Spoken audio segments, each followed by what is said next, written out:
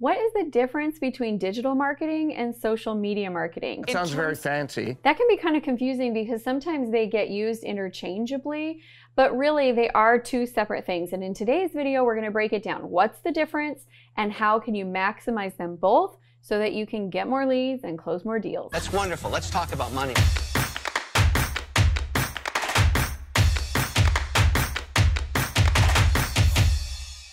I'm Amy Walker, small business strategist, and I have helped hundreds of entrepreneurs be able to grow their business to six and even seven figures. Wow. In today's video, I'm going to go over the definition of digital marketing and we're going to talk about how social media fits under that umbrella. Get in a bubble and help our sales double. We're going to break down paid versus organic social media. Entirely from organic nuts. And then at the end, I'll give you three simple things that you can do right now that are going to help you get more clients. I You got to decide What? right now. So I'm going to make you a deal. For 20%, I'll squeeze Cuban's head for you. What's the difference between digital marketing and social media marketing? It can kind of be confusing because sometimes they get used interchangeably, but they are actually both different. You need to understand them both. And in today's video, I'm going to show you how they are separate, how they work together, and I'm going to give you three simple things that you can do today in order to help you get more leads and close more deals. You have a deal. Let's do it. I have had on several different occasions clients spend a ton of money on digital marketing and not have it return. Um, on one occasion, a client was spending $5,000 a month on an SEO company and they literally did it for a year without a single deal closing. Very frustrating. On another occasion, a client spent 50K on Facebook ads didn't close a single deal. And here's what I want you to understand is digital marketing is really important in your business. You do need to be able to acquire clients online. However, if you go into it not understanding, then you pay the ignorance tax, which means you can spend a ton of money on something that's not working and you can't even tell it's not working because you don't understand the process well enough. It's amazing to me that you don't see what's wrong with that picture. The definition of digital marketing is pretty broad. It's just using any type of online strategies, online tools in order to get your message out and attract in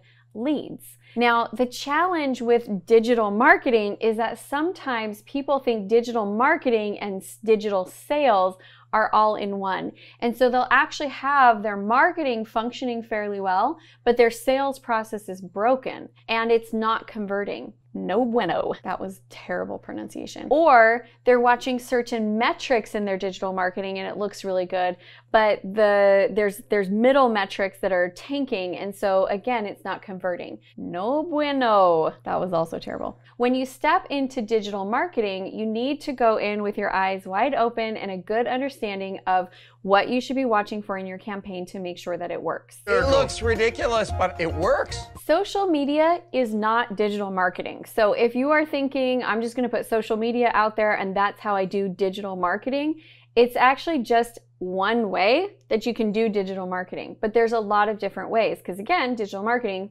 anything that you can do online to find clients. There's so many apps out there. So, social media is really going to be great at a couple pieces of your digital marketing strategy, but not all of it. It takes five things to make a marketing campaign work your marketing assets, it takes your visibility, it takes lead capture, it takes lead nurture, and it takes converting to a sales experience. Social media is good at two and four. It's good at getting you visibility and it's good at building community and nurturing trust with those people who are following you. Yeah, we built a community from this. He's an instructor. we What built a think he does? passionate community. Also, when we look at social media, we have paid and we have organic. When people talk about I'm doing social media, my immediate question is always, well, what are you doing on social media? What are we actually talking about? Are you doing organic? Are you running a group that's your container? Are you doing online challenges and from there you're closing deals? Are you running paid ads? There's a lot that you can do on social media in order to be able to convert clients. I recommend that you have a good balance between your paid and your organic because they really can work together. I know exactly how to help you. So, for example, let's say that you're going to do an organic funnel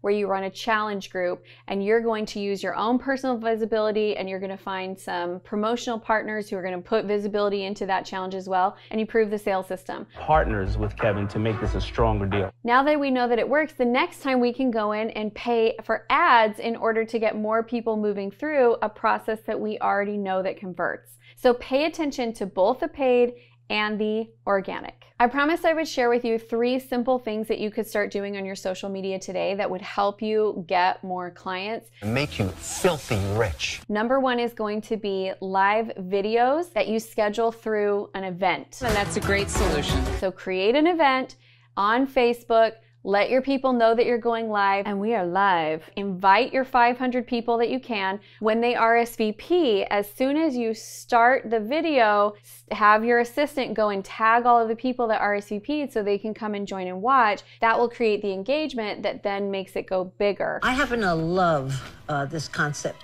Um, and then once it's done, go through and look at all the people that watched and attended and commented and send them a private message. So, number one, set up the event. Number two, go live. Number three, follow up with all the people who were involved on your live. You guys, three simple steps, and you could start getting consistent sales conversations every week just by adding value to the people who are already following you. I want your marketing to work. So I've got two gifts for you today. Number one is I have created a playlist for you full of tips if you are marketing on a budget. And number two, I would love to offer you my sales and marketing GPS. If you are not currently sure why your marketing isn't converting the way you want, let us analyze it for you. You'll get to answer some questions. My team and I will review the data. We'll put together a customized improvement plan for you. And based on what we're seeing, we'll lay it out where you need to go next. We've come to the end of our video and I'm out. For all of those reasons, I'm out. But I want you to keep watching, so go check out that next video.